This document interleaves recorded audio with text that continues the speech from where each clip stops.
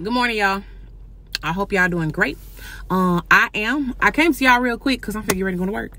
But i just wanted to give y'all a quick testimony. So um i was actually in the middle of shooting a video last week. And in the middle of me shooting that video um something happened. I picked my daughter up from school. She told me she got hit. Um somebody hit her. She goes further to tell me who did it. And of course like any mom i'm frustrated. I'm upset. I'm trying to figure out why the school ain't called. Trying to figure out why somebody hit my baby because she's so sweet. She's not gonna fight. She's not gonna argue. Um so i was a little upset frustrated. Guy was dealing with me. But the video i was shooting at the time was talking about how to look like Christ um amongst people that don't. How to uh still try your best to walk and talk um like a christian that you're called to be um even though the rest of the world is doing something completely different. Um and i had to respond like a christian in that moment right? um the Lord be dealing with me like real quick. It don't be taking a long time. That was very fast. That was like you're making this video and you better walk what you're talking. Um, so you know, in that moment, I, I was trying, y'all, but I ain't. Mm-mm. I was having a hard time walking what I was talking. In that moment, um, it's a lot of things I play about, but my kids ain't one of them. So I was having a hard time. You know, I started to pray. I'm like, Lord, because listen, I got to call up to the school, figure out what happened to my baby, and I need to have you bright on my tongue, cause child Okay, so I call up to the school. The lady leaves with, I'm sorry. I apologize. I should have called you by now. I was just trying to get to the bottom of everything, make sure everything was true, get all my facts together before I called you.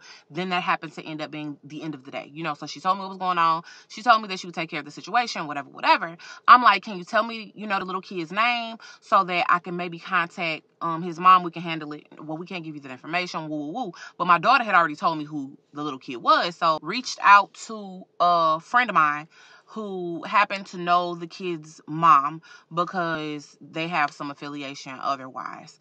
So I'm like, yo, listen, if you talk to the the mom, please, you know, give her my number so that we can communicate. Um, I always try to handle things that way, you know, first because you never know what's happening at home. And Lord did I not know. So I never got a phone call. I never got anything. Me and Kaylani and the kids go to the park to go skating like all the time. So this was nothing out of the ordinary. The next day we go to the park, we pick up a friend who also was having, you know, a hard day or whatever. And we go to the park or whatever to skate. And lo and behold, we pull up to the park and they're the kiddies, right? Um, them and their older sister or whatever. So I walk up to the situation and the sister at the time was having an altercation with another kid.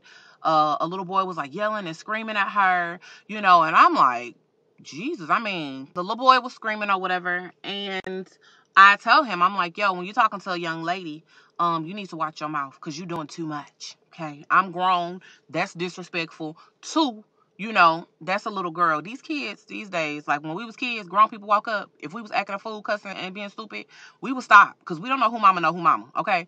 So I told the little boy, you know, like chill. He was like, I'm just sick of this. I'm sick of that, whatever. And I'm like, listen, you can be sick of what you want to be sick of, but watch your mouth when you're talking to a young lady. Okay. So then I further say, hey, young lady, can you come with me to talk to your, you know, sibling or whatever?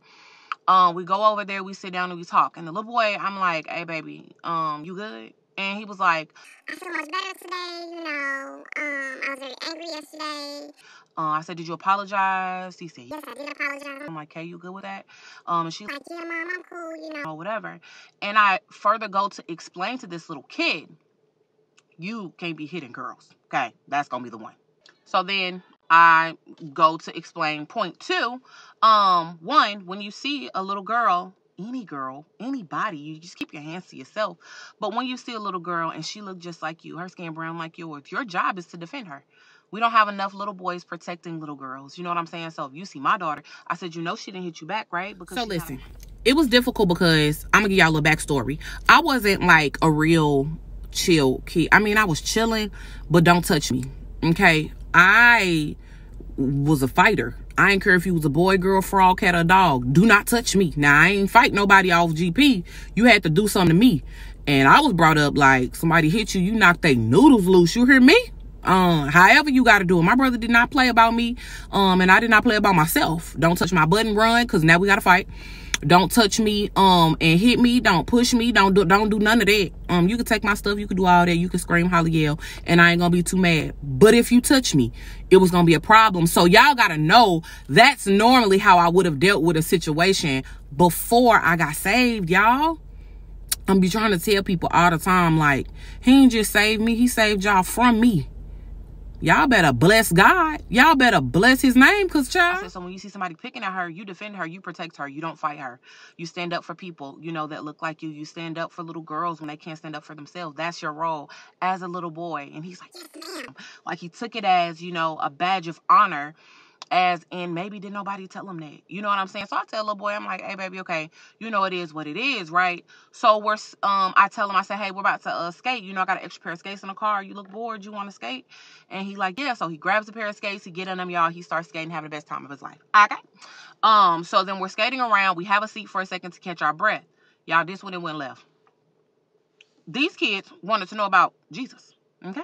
So we're sitting there and um I was talking to a different parent, and the kids are like, you know, I, I mean, God know everything, and I'm like, yeah, God know everything, and I'm like, he's like, the little boy's like, God knows everything. I'm like, yeah, he knows everything. He sees everything. He's the author and finisher of our story. He wrote your life. So he knows exactly what you're going to do, when you're going to do it, how you're going to do it. And like kids, y'all, the little boy picks up a rock and he was like, mm, he threw the rock. Like, God knew I was gonna do that. I was like, Like, God knew you were going to do that. Uh, the other little girl rubs her feet in the dirt and she's like, God that. God knew you were going to do that. Kaylani said, You know what? God even know I'm gonna do and she skates off in her skates really, really fast.